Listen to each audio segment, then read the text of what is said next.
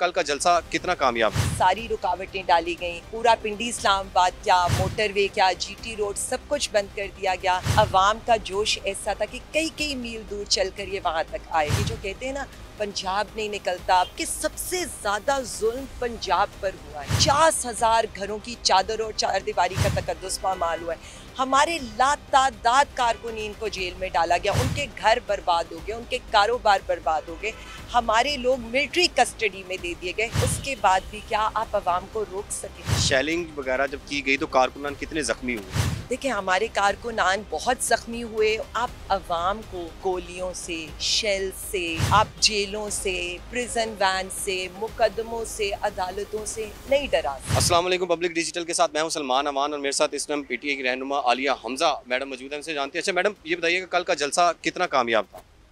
बसमीम या का नाबुदो या का नस्ताइन। क्या कहूँ मैं अब उस जलसे के बारे में जो आवाम का जलसा था?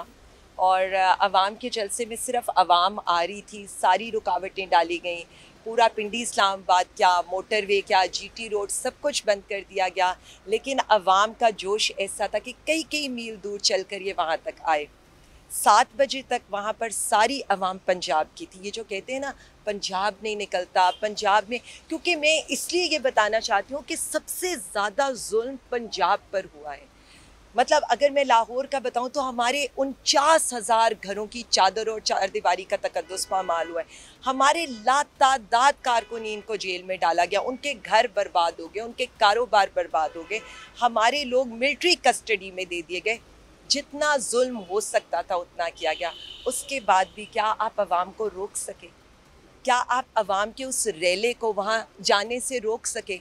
और पंजाब के अवाम मतलब वहाँ अगर मैं ये कहूँ, रहीम यार खान पंजाब के एक कोने से लेकर भक्कर तक हर जगह के लोग मौजूद थे। उसके बाद हमारे माशाल्लाह से पठान भाई वो पहुँच गए सात बजे के बाद और अल्हम्दुलिल्लाह उन्होंने ये बता दिया कि खान पाकिस्तान खान है। एक वही शख्स है जो इस मुल्क को, जो इस मुल्क की हर इकाई को जोड़ सकता है। शेलिंग वगैरह जब की गई तो कारकुनान कितने जख्मी हुए? देखिए, हमारे कारकुनान बहुत ज़ख्मी हुए, उन पर शेलिंग भी की गई। अक्सर विजुअल्स तो ऐसे आए कि खौफ व हरास फैलाने की कोशिश की गई, क्योंकि बेसिकली आप ये देखें कि जब ऐसा टाइम आता है, एकदम बहुत ज़्यादा भीड़ होती है, शेलिंग हो तो स्टेम्पीड बहुत होती है, और स्टेम्पीड में जो नुकसान होता है, वो उससे ज़्यादा होता है।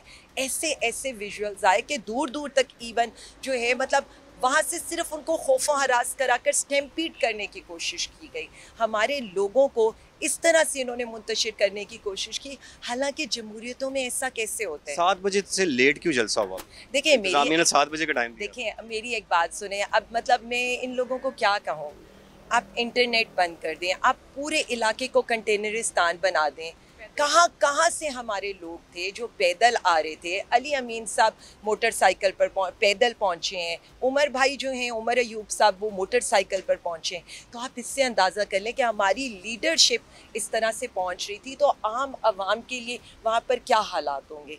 इन्होंने सब कुछ खड़ा किया। मतलब थोड़ा सा दिल बड़ा करना चाहिए। कोई बात इजाज़त दे नहीं नहीं देखिए इजाज़त तो देना मतलब आप बाईस अगस्त को खान के पाँव पकड़े, उसके बाद भी अगर आप इजाज़त ना देते तो इस हद तक तो लेकिन मैं इतना बता दूँ, बहुत ही कम ज़र्फ, बहुत ही बदतरीन दुश्मन से हमारा पाला पड़ा है।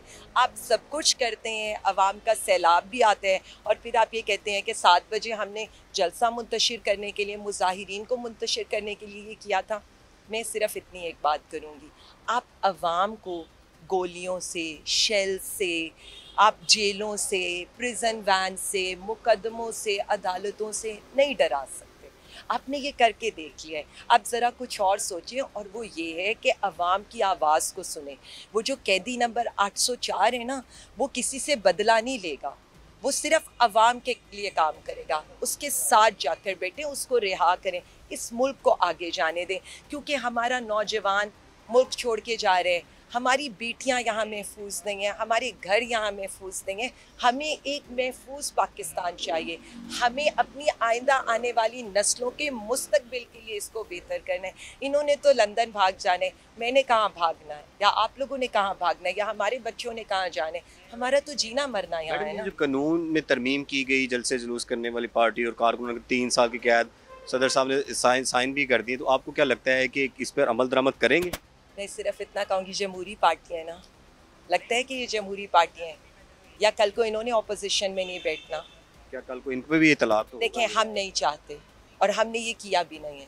आप मौलाना साहब का देख लें उनका जितना लॉन्ग मार्च था कभी आपको लगा कि मौलाना साहब के लॉन्ग मार्च में वो लोग उठ गए बारिश हो रही थी खान साहब ने खेमे प्रोवाइड किए खान साहब ने खाना प्रोवाइड किया खान साहब ने उनको वापसी के कराए दिए। इनकी जलसियाँ चली इनके लॉन्ग मार्च चले कुछ सिंध से कुछ लाहौर से। हमने तो नहीं रोका क्योंकि हमें इनकी तरह डर नहीं था। अवाम से क्या डर? अवाम से अवामी हुकूमतें नहीं डरती। ये इनको समझना चाहिए। लेकिन चूँकि ये अवाम की ताकत पर नहीं आए इसलिए इनको अवाम का डर है। मैं इनको बताऊँ आपको अवाम का डर होगा आपको खान का डर होगा आपको हमारा भी डर होगा। लेकिन हम नहीं डरने वाले। जमात इस्लामी ने भी तो इस्लामाबाद में जलसा किया कितनी देर धरना दे के बैठे रहे। बेशक उनके मुतालबात नहीं माने जा रहे। तो ये क्या बात है कि जैसे पीटी को इजाज़त दी गई और साथ ही नोटिफिकेशन कर दिया गया कानून में तरमीम कर दी गई ये क्या बात है? क्यों कर रहे हैं ये लोग? हमें बहुत खुशी हुई इन्होंने जमात इस्लामी को वहाँ बैठने दिया वो भी आवाम के लिए आए थे। इसी तरह से जिस दिन आपको पता है सुप्रीम कोर्ट में हमारी मजहबी जमातों का था उस दिन भी देखिए ये जमहूरियत का हुस्न है। आप बिल्कुल उन्हें भी आने देते आपने बहुत अच्छा किया आपने उन्हें आने दिया। लेकिन एक की पीटीआई के लिए ख़ास क्यों है सब कुछ? एक पीटीआई से इतना डर क्यों है आपको? डर है ना बेसिकली खान का डर है ना? लाहौर में जलसा होगा। जलसा भी होगा अली अमीन आकर सदारत भी करेगा और मेरे ख्याल में तो उस वक्त तक शायद खुद आकर आप खान लीड करेंगे मैं तो कह रही हूँ मेरा हल्का है मैं तो मेज़बान हूँ। मैं तो मेज़बान हूँ उसकी और मेरा मुलाकात हुई। जी। जलसा जलसे के हवाले से कोई पैगाम आया कि कामयाब था या नहीं? देखिए मेरी एक बात सुने। खान साहब को पता था जलसा तो कामयाब होना ही है। और आ, खान साहब बेसिकली रेडी हो रहे हैं। वो ये कह रहे हैं कि मुझे जो इन्होंने 400 दिन जेल में रखा है ना तो अब मैं सिर्फ़ आवाम के बारे में सोच रहा जलसे हूँ। का मकसद क्या है? जलसे जुलूसों को खान साहब की रिहाई के लिए किया जा रहा है? इस्टेब्लिशमेंट पे ये प्रेशर डेवलप करने के लिए किया जा रहा है? किस वजह से किया जा रहा है? क्यों ये लोग खाइफ क्यों है ये? देखिए मेरी एक बात सुने। मुझे तो ये लगता है कि जमहूरियत में अवाम का खौफ होना चाहिए।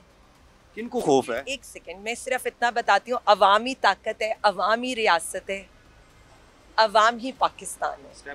पे सिर्फ़ एक सेकेंड और इस मुल्क की जो मालिक है ना वो पाकिस्तानी अवाम है पच्चीस करोड़ अवाम है किसी और का हुक्म नहीं चल सकता। हम किसी के ख्वाहिश के ताबे नहीं हो सकते। हम अपना लीडर हम 25 करोड़ अवाम ये फैसला करेंगे कि मुल्क का वज़ीर आज़म कौन होगा। हम किसको मैंडेट देना चाहते हैं? अवामी ताकत और खामोश अवामी ताकत का मकसद एक ही होता है।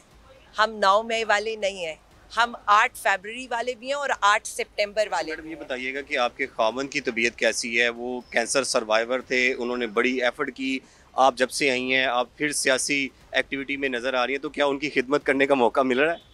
मैं सिर्फ़ इतना बताऊँगी कि uh, I am blessed to have such a husband such a father in law daughters मेरी माँ मेरी बहन मेरा भाई मेरी पूरी फैमिली वो बस दुआएँ पढ़ पढ़ के फूंकते रहते हैं और आ, बाकी तो यही होता है कि हर वक्त उन्हें यही होता है अब अब क्या हुआ है? अब क्या हुआ है? वापस आ रही हो? और उनको एक ही होता है तो मैंने उनको ये बताया गाड़ी में मेरा सामान मौजूद है जेल वाला जिस वक्त कहेंगे चल पड़ेंगे। बहुत शुक्रिया मैम। Okay thank you.